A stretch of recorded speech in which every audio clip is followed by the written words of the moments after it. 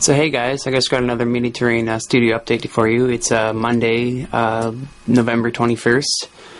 I've just been working on some Malifaux figures for my cousin's birthday present. Uh, it's the Lady Justice box set with uh, Scales of Justice, and I just need to finish up this Death Marshal.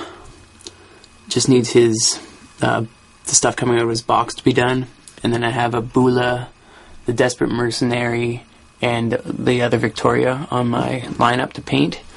Um, I finished the small display base for um, his Lady Justice box set.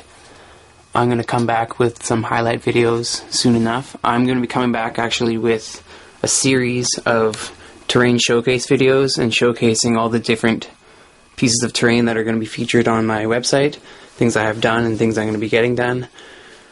On the week, if we come out here, sorry, I was casting, casting a lot of blocks, but I ran out of plaster and the local store is getting more plaster in tonight, so I'll be coming out getting more plaster and the casting up, and then in the week to come I'll be building up uh, quite a few different buildings here. Um,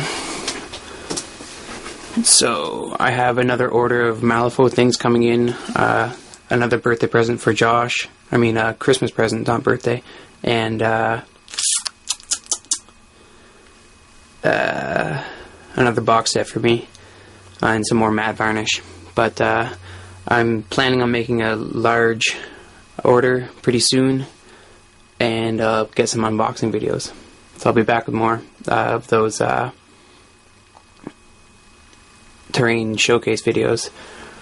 And I have a prison tower back there that I'm building up because I, a few things are wrong with it, so I'm just going to use it as my own terrain and build up some more for the website. Anyways, I'll be back when that's finished up too.